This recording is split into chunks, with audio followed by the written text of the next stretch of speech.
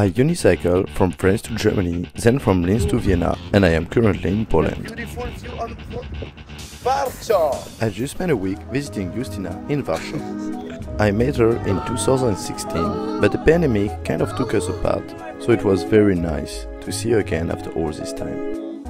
For the last couple of weeks, I decided to put the editing a little bit aside, so my main goal in Warsaw was to catch up with all the vlog I had to edit.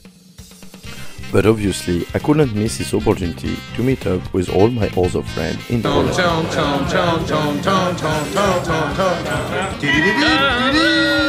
I think it is the fifth time I'm coming to Poland, and I absolutely love it. Whatever happened in my life, I have a zapiekanka. I think Polish people get the best of both worlds. The very authentic temperament of the north, but also extrovert and joyful, like people from the south.